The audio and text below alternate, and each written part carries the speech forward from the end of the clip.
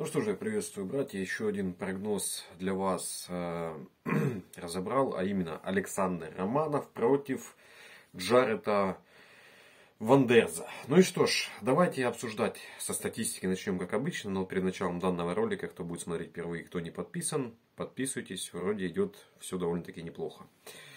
Александр Романов, 14 боев, 14 побед, 4 нокаутом, 9 сабмом, одно решение.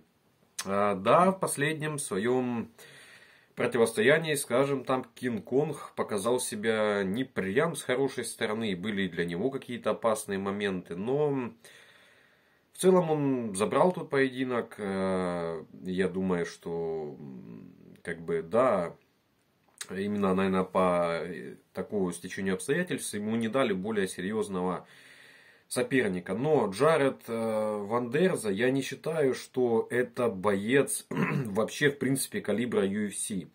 Давайте его статистику. 16 боев, 11 побед, 6 нокаутом, 2 решением, 3 сабмом. 5 поражений, 1 нокаутом, 2 решением, 2 сабмом.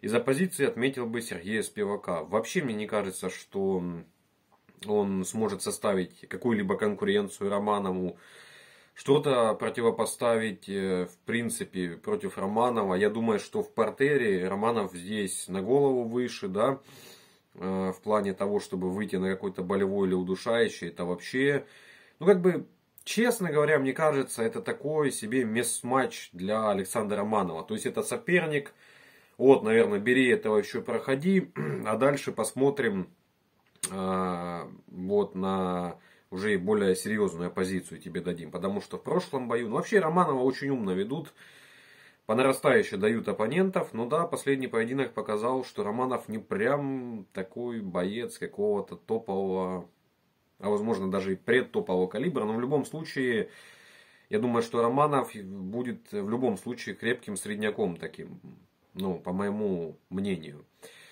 И поскольку я уже сказал, что в принципе поединок это такой mismatch для Романова, но победа за 1-2, я прям не знаю. Как бы и да, в экспресс, если и да. Динарам, конечно же, понятно, нет смысла забирать. 80 на 20. Я не знаю, что здесь должен, должно произойти, чтобы Вандерзе как-то забрал победу. Я не знаю. Lucky punch, я сомневаюсь. А, случайный какой-то submission, тоже сомневаюсь, что это вообще в принципе выйдет. А какая-то либо там сечка, остановка доктором. Разве что только это я себе могу предположить в данном поединке. Ну и досрочку Романова дают немного. Немного, 1.45, но я думаю, самый логический вариант на данное противостояние.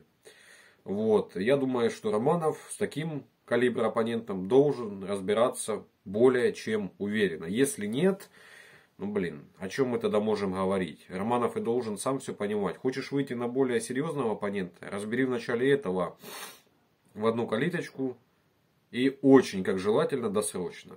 Ну, это думает тот оппонент. Смотрите, 6 поражений, э, из них, в принципе, извиняюсь, 5 поражений, из них-то, в принципе, 3 досрочных. Почему нет? Забить грандед паунтом, то вполне возможно. Придушить, то тоже попадался на болевые джары. Так что, вполне логичный исход, как по мне. Ну и так, в принципе, у меня на этом все. Будем прощаться. До новых прогнозов, до новых встреч. Не забудьте, кто не подписан, подписывайтесь. Коммент и лайк. Мне было бы очень приятно. У меня на этом все.